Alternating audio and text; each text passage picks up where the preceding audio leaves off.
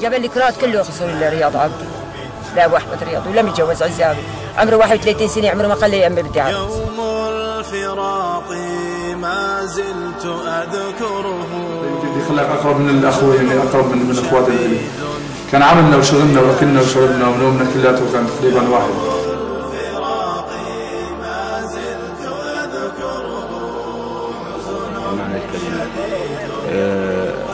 شجاع مقدام يوم حزين ما بيعرف الخوف. لكني أحسبه يوم عظيم. أشهد أن لا إله إلا الله وأشهد أن سيدنا ونبينا محمد رسول الله. فهون أخونا المسيح اتشهد و- واستشهد. عظيم. من بعده امل الله يرحمك يا الله الأحبة من دنياي قد رحلوا إلى الجنان في خضرائها نزلوا. أبو أحمد رياض. هذا الاسم لطالما كان يبعث الأمل والحماس في نفوس رفاقه. ومثيرا للرعب والخوف في صفوف مرتزقة النظام. وقاره وهدوءه ونظرته مفعمة بالرجولة والحكمة. أسست لنواة ثورة عظيمة في جبل الأكراد. عيناه كانتا تراقبان عن كثب المظاهرات السلمية التي انطلقت في درعا مهد الثورة. حلم هذا الشاب تحقق في اندلاع ثورة في وجه طغيان لكن الطوق الأمني المحيط بجبل الأكراد. وأسباب أخرى منها تخوف الأهالي من إعادة سيناريو الثمانينيات المؤلمة التي عاصروها. كانت وراء تأخر انطلاق المظاهرات هناك.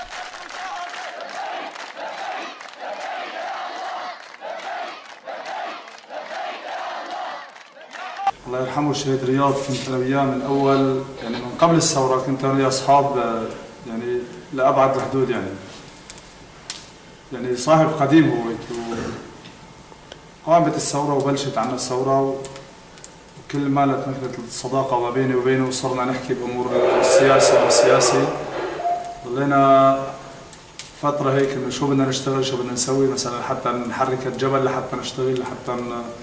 يعني ما خلى الجبل بارد كل سوريا مثلا قامت ولسه عنا الأمور تقريبا كانت شبه ما في شيء نهائيا.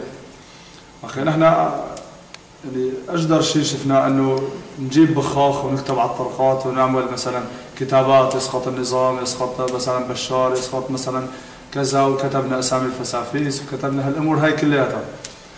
آه، يعني طلع لحد وين؟ أول ما بلشنا وكتبنا إنه يسقط النظام. كانت العالم عنا تقريبا مندهشه يعني. وضلينا فترة هيك 10 أيام 15 يوم. نكتب الكتاب المسا ثاني نهار ترجعت المسيح. قلنا هذا الحكي ما بفيد. صارت تطلع مظاهرات بالجسر. نحمل حالنا كنا كل بعد صلاة جمعة. آه نركب على القطار ونحمل حالنا نضل نازلين على الجسر. نحضر مظاهرة مرة واثنين وثلاثة وخمسة. لا تقريبا كان للثورة شي شهر ونص شهرين. وإذ بيحكوا معنا بيقولنا بأورم الجوز والمسطومي صار متزرة وطالع بدي جاي الجيش وكذا ومظاهرة بالمئات الآلاف و... مين بده يطلع يا شباب قمنا حملنا حالنا وطلعنا مع العالم اللي طلعت من العالم اللي طلعت نحن كلنا. كان شاهدا على مجاز النظام بحق المتظاهرين العزل أثناء مشاركتهم في مظاهرة المصفومة فلم يعد مؤمنا بالحل السلمي لإسقاط هكذا النظام المجرم. قرر هو وليد نصب كمائن لدوريات الأمن والشبيحة للحصول على السلاح. تلك الكمائن كانت أشبه بعمليات انتحارية. تم التعرف إلى صوت وليد من قبل أحد العناصر فتم تهديده بتصفية عائلته ما اضطره لتسليم نفسه. اليوم اللي صبنا الكمين لهاي الدورية. إجت الدورية تقريبا صبنا الكمين كتبت الكتابة الساعة 3 بالليل. وطلعت لعنده على البيت. دقيت له ما رد قمت طلعت لعنده على البيت في يخته قمنا توضينا وصلينا الصبح اللهم صل على النبي وحكيت له إنه شو بدنا نشتغل. قال لي اجلها وطول بالك ربما تمسكه بطريقة ثانية أو شيء. لا مستحيل إلا امسكه بعد الكمين يعني عملت حالي ونزلت واقتنعنا ركبنا على الأرض ضلينا نازلين. شوي بالستة ستة ونص ولا اجت سيارة ولا رئيس الدورية جاي هني وصلوا على سحب الكتابي رفعت السلاح قلت له كان رياض أنا كنت قايل له بحال أنت ما تقرب بحال إنه أنا إجوا بدي يخوصوا علي أنت من الخلف بتخوص علي. بحال إنه هن بده يقتلوني أنتم تقتلون قال لي ماشي. لما شاف إنه العنصر سحب سلاح عليه وكان بده يقتلني كان هون المرحوم رياض الله يرحمه شال السلاح وقال لي وقف في ارضك أنا قمت هون طلعت على الدوريه وقتلت للدوريه مو إنه قتلته للاخر بس يعني ضرب وقتل وهيك وخلصت السلاح أنا أخذت منه روستين ومسدس 9 14 كنتم الاثنين الله يرحم الشهيد رياض هون كان يوم. هون بهالمكان هذا. ونحن هون هيك الشباب وكمان يعني ما يساع الواقف هنيك عند الباب. يعني لما يحكي الشهيد رياض يعني العالم كلها تستمع لحديثه. ما حدا يحكي مع الثاني أو ما حدا يحكي كلمة ليخلص حديثه. كان يعني محترم ونحن نحترمه لأنه هو كان محترم بالفعل. الشباب يحب الشباب والشباب نحن نحب. هذا البيت السري. ليك الصوبيا ما انشغله بالنهار إن شاء الله ما حدا يشوف الدخنة دخنة الصوبة إن شاء الله ما حدا يشوف الدخنة يقول في عالم بهالبيت حتى الصوبيا ما انشغله إلا بالليل. وما نطلع برا البيت نهائيا. على طول هون. نطلع أنا والشهيد رياض يطلع على بيتهم يجيبوا لنا أكل من فوق. طبعا في باب سري هون بيخرق على بيت عمي. منه نجيب الأكل لهون هذا الباب السري نجيب الأكل من بيت عمي لهون ياكلوا الشباب هون. ونقعد هون بالليل نشوف شو عنا شغل شو بنشتغل بكرة هيك كذا عمر. ينشق مثلا عسكري أو شرطي أو شي محل بالضيعة الثانية ما حدا يحسن يسترجي يحطه عنده.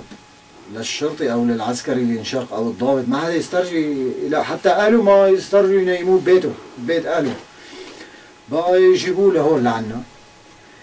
يعني بعدين أنا بالضيعه من من لأنه العوينيه كترت كثيره مشان ما يفسدوا علينا يشوفونا بالضيعة. التجأنا لهون لأنه هون ما قادر يجي لا أمن ولا شيء. وهون العساكر اللي ينشقوا.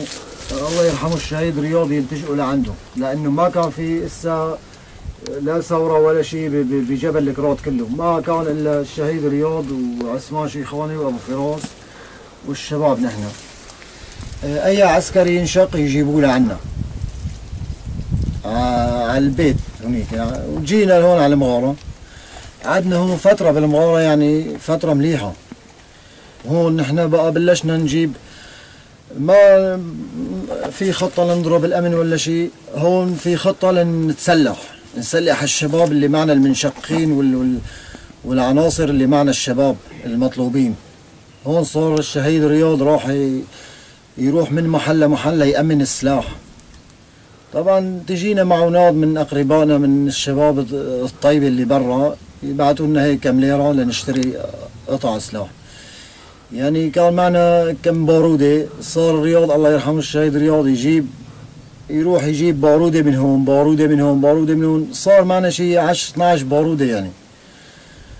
وعلى هالأساس مشي الشهيد رياض أساس يعني هو فكرته كان يقوي الجبل بالسلاح بعدين نضرب